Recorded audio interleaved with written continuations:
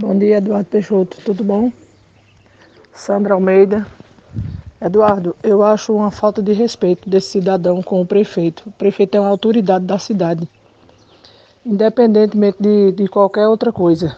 Outra coisa também, é, ele está protegendo sim a população. Nessa, eu estou com ele nessa, entendeu? Mas eu vou lhe dizer, as pessoas elas não têm amor nem pela sua própria vida. Coloca sua vida em risco, sabendo que em bares, né, Muitas pessoas já pegaram, eu conheço muita gente que pegou em bar e as pessoas não querem saber. Agora, esse, cidadão aí tenha cuidado, que o Covid ele não faz acepção de pessoas, não, viu? Se, quando a pessoa tiver naquela situação, aí vai se arrepender, porque a vida do, de um é igual à vida do outro. As pessoas têm que ter responsabilidade e ter respeito pelas pessoas. Essa é a minha opinião, Eduardo. Tenha um bom dia. Bom dia, Eduardo.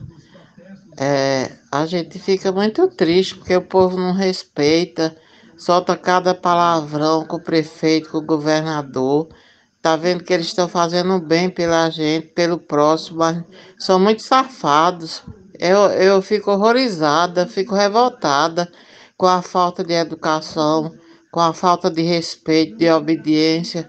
Por isso que as coisas é do jeito que é, porque o povo não sabe obedecer, não sabe respeitar.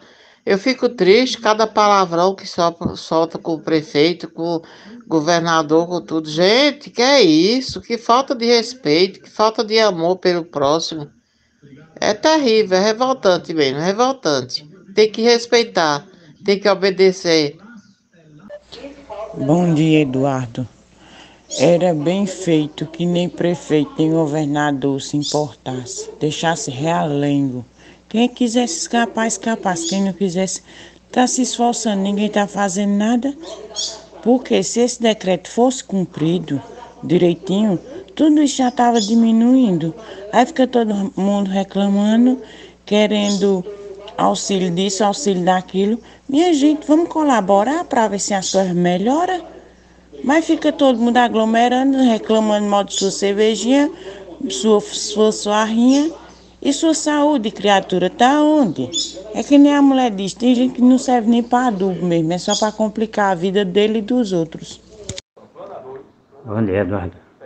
Desses decretos que fizeram aí, esse da bebida foi o melhor que fizeram.